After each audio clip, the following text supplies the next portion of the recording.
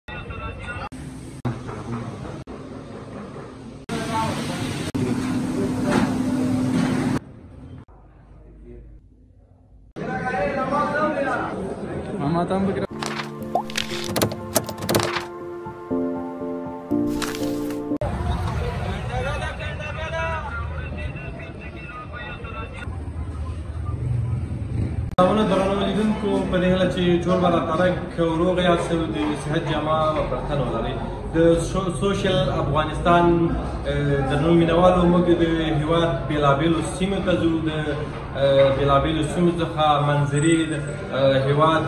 رسم و رواج د دې ترڅنګ د هیواد ښکلي خواړه د سوشل افغانستان په سکرین پرده لیدل شي دا ځل د کونړ مرکز اسداباد ښار د سپوږمۍ هوټل ته راغلي یو چې تازه یې په کار پیل کړی په لومړي ځل په کونړ کې یو معیاري رستورانټ یا هوټل په کار پیل کړی نو درنو لیدونکو چرته به ځای نه موږ سره پله اوسئ د دغې ځای یا د هوټل مسؤلینو سره غږېږو او موږ سره پاتې شئ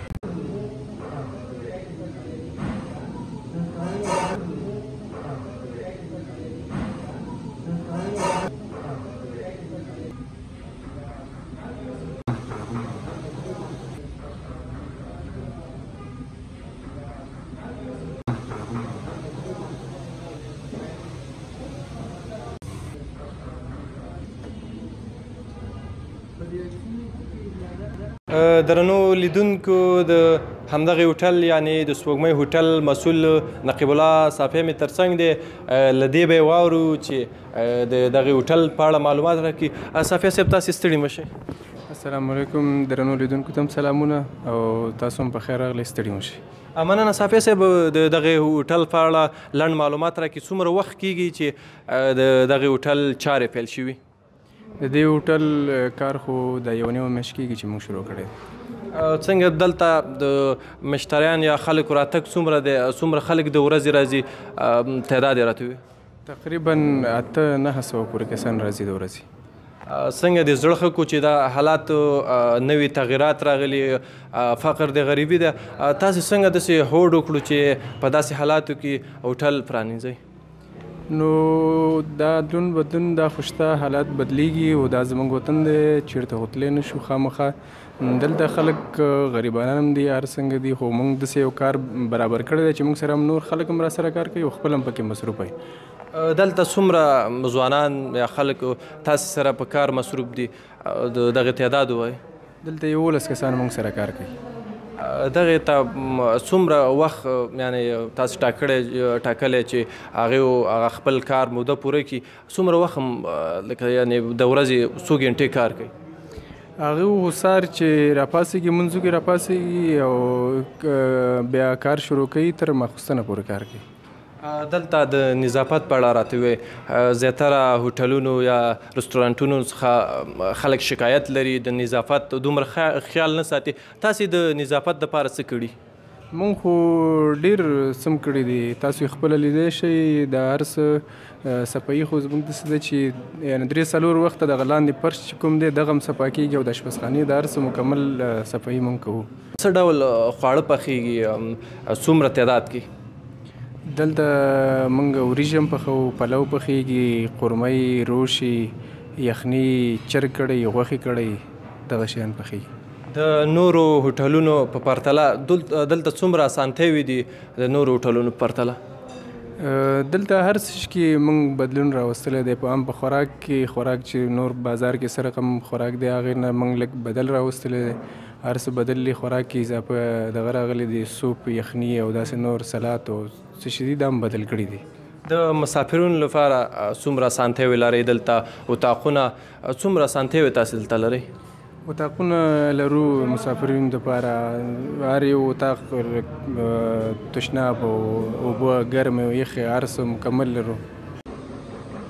صافی صاحب دلته د غونډو لپاره یا دلته جرګې کیږي څومره تالار شته دی څومره اسانتیاوې دي او تالار لرو د جرګو لپاره خپل تالار لرو او نور بیا میټنګ هال لرو د دفترونو لپاره خپل پروجیکټور او هغه سیستم چې کوم د هغوی ضرورت دی هغه لپاره اسانتیاوې لرو په څومره تعداد سره دلته خلک ځایېدی شي لکه اټکلي تعداد یې وي دا پنځوس نه واخله تر سلو پورې دا کسان راځي هغه کې میټنګ کار کې دا خلک ځي راتلونکي کې مو پلانونه څه دي دغه هوټل په اړه نور به هم غځېږي او کنه او نور پلانونه هم لرو د خواته اتاقونه جوړو نور اتاقونو لپاره پاس په دې دویم چت باندې دوه میټنګ هالو پلان لرو چې میټنګ هالې جوړې کو درنو لیدونکو ته هیوادوالو ته مو پیغام څه دی پیام خو مې دا دی چې باید خپل وطن ته کار وشي او په روزمره ژوند کې د یو بل سره یعنی موږ لاس واړو کومک وکړو د یو بل سره همدغه مې پیام دی ډیره مننه صافی صاحب د په بوختیاو سره دلته تاسو ته غټ مسولیت در په غاړه دی موږ ته مو وخت راکړو ډیره مننه له تاسو مننه چې زمونږ هم پوښتنه وکړه ژوندي اوسئ ډیره مننه درنو لیدونکو صفی صاحب چې د دغه هوټل په اړه موږ ته معلومات راکو نور معلومات په ویډیو کې را سره کتل شي